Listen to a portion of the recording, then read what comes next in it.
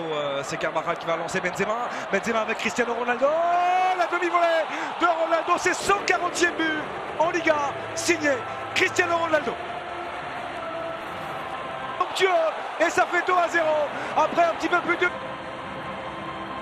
Et le sourire euh, largement arboré sur le visage de l'international portugais.